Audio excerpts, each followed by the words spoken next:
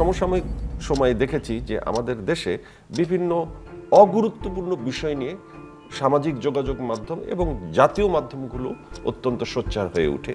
এগুলো আসলে রাষ্ট্রের জন্য কতটুকু প্রয়োজনীয় বা উপকারী? যেমন পরিমণি ইস্যু। এত উত্তেজনা। এই ইস্যু নিয়ে কেন আমাদের এত উত্তেজনা থাকবে? একজন দেশের নাগরিক হিসেবে আপনার কি মনে হয় যে আমরা কি একটু দুর্বল ইস্যু নিয়ে বেশি মাখ- মাখামাখি করছি? যে আমাদের জাতীয় জীবনে যে সমস্যাগুলো রয়েছে, সম্ভাবনাগুলো রয়েছে, যে বিষয়গুলো নিয়ে আলাপ আলোচনা করা উচিত, সেগুলোর চাইতে যারা এই পরিমণিকে নিয়ে মাতামাতি করছে, তাদের দৃষ্টিতে মনে হচ্ছে পরিমণি শ্রেষ্ঠ। মূলত যা কিছু সে করেছে গ্লামার নির্ভর তার জীবন। সে দেখতে সুন্দরী এরপরে সে একটা সোশ্যাল কানেক্টিভিটি মেনটেন করেছে।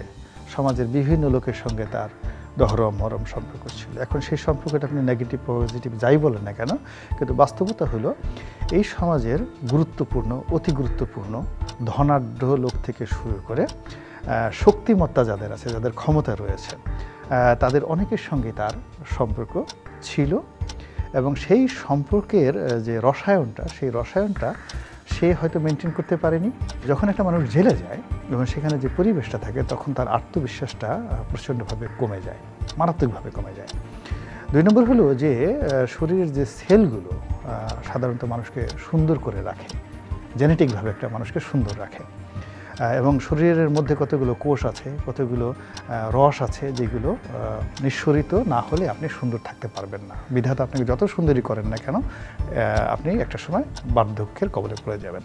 জীবনের দুটো বিষয় আছে। অর্থাৎ যখন মানুষ জ্ঞান চর্চা করে, ধর্ম চর্চা করে এবং নীতি নৈতিকতা চর্চা করে, এই সমস্ত মানুষ যত বৃদ্ধ হয়, তাদের দৈহিক সৌন্দর্য যত বিকৃত হয়, তত তাদের আকর্ষণ বাড়তে থাকে।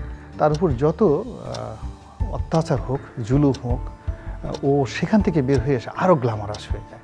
যেমন আপনি বেগম খালেদা জিয়ার কথা চিন্তা করেন, শেখ হাসিনার কথা চিন্তা করেন, ইন্দিরা গান্ধীর কথা চিন্তা করেন কিংবা ইন্দিরা গান্ধীর সঙ্গে যারা বিভিন্ন সময় ফাইট করেছে, তার পরিবারের মধ্যে সোনিয়া গান্ধী চিন্তা করেন, মানেকা গান্ধীর কথা চিন্তা করেন। তারা প্রায় সববারই ঝগড়ঝাঁটি করে বিপর্যস্ত হয়েছে এবং বিপর্যয় থেকে বের হয়ে তারা আরও সুন্দর হয়েছে আরও শক্তিশালী হয়েছে আরও মেধাবী হয়েছে। তো এটাই হলো মানে যোগ্যতার একটা মাপকাঠি। ভাই আপনি তো এখনও বিএনপি করেন। অবশ্যই আমি এখনও বিএনপি করি। বিএনপির ভবিষ্যৎ কী? মানে মানুষ বলে বিএনপির সম্পর্কে ভবিষ্যৎ একদম অন্ধকার বলে আন্দোলনের বিষয়টি একটি কমিক্সে পরিণত হয়েছে যে ঈদের পর আন্দোলন। ভবিষ্যৎ? এই মুহূর্তে বেগম খালেদা জিয়া জেলে যাবে না থাকবে সেটি নির্ভর করে সরকারের উপরে। চিকিৎসা বিদেশে নিতে যেতে পারেনি এই করোনা কাল যেতে না যেতে ইলেকশন কাল চলে আসবে সামগ্রিকভাবে কি হবে আসলে? বিএনপি অত্যন্ত জনপ্রিয় একটি দল এবং আওয়ামী লীগের চাইতে বিএনপি না যদি গত ইলেকশনের আগের কথাগুলো না বলে নতুন কোনো তথ্য দেন না না, নতুন কিছু দরকার নাই। বিএনপির আপনি দেখাতে পারবেন না যে এত কিছুর পরেও একটা লোক বিএনপি থেকে আওয়ামী লীগে যোগদান করেছে। কোনো নেতা বা বড় কেউ বরং আওয়ামী লীগ থেকে অন্যান্য দল থেকে বিএনপিতে যোগদান করেছে। This is one second thing হলো আমাদের দেশে রাজনীতিতে দুঃসময় আসে। যেমন একুশে আগস্টের গ্রেনেড হামলা যখন হলো ওই সময়টাতে আওয়ামী লীগের যে খারাপ অবস্থা ছিল কিংবা উনিশশো উননব্বই সনে আওয়ামী লীগের যে খারাপ অবস্থা ছিল বিএনপির ওই অবস্থা ছিল না। উনিশশো উনআশি সনে আওয়ামী লীগের যে খারাপ অবস্থা ছিল আওয়ামী লীগের অফিসে একটা লোক এখন তো অনেক দীর্ঘ সময় ধরে বিএনপি দুঃসময় তার চোখে আমরা দেখছি যে আপনার ঘুরে দাঁড়াবার রাস্তা বোধহয় নেই। পঁচাত্তরের পনেরোই আগস্ট থেকে শুরু করে উনিশশো ছিয়ানব্বই সন পর্যন্ত আওয়ামী লীগ যে ডিফিকাল্টির মধ্যে ছিল তার এবং সেই ডিফিকাল্টির সময় আওয়ামী লীগ যে বিপর্যস্ত ছিল এবং তাদের যে সমস্যা ছিল সেই তুলনায় বিএনপি এখন শতগুণ ভালো আছে। তার মানে কি অলৌকিক ভাবে বিএনপি ঘুরে আমাদের দাঁড়াবে আমাদের নাকি স্বাভাবিক প্রক্রিয়া এটা? আমার না আমাদের দেশে পুরো রাজনীতিটাই হলো জনপ্রিয়তা কেন্দ্রিক দেশ এবং বিদেশের অনেক রসায়ন এখানে আছে।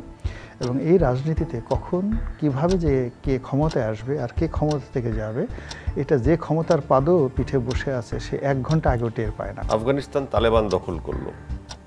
এর প্রতিক্রিয়া কি আপনার কাছে? না এটা তারা যুদ্ধ করে সুদীর্ঘকাল যুদ্ধ করে বিশ্বের প্রধানতম পরাশক্তি গ্রুপ অফ যাকে বলে পাওয়ারফুল নেশন। তাদেরকে পরাজিত করেছে আমাদের এশিয়া সাবকন্টিনেন্টের একটি দেশ। এটি যে কোনো কারণেই আমার কাছে ভালো লেগেছে একটা সাম্রাজ্যবাদী শক্তিকে পরাজিত করেছে। চাকায় ঝুলে মানুষ চলে যেতে চাইলো তার মানে মানুষ কত আতঙ্কিত হলে এই ধরনের সিচুয়েশন তৈরি হয়। হ্যাঁ।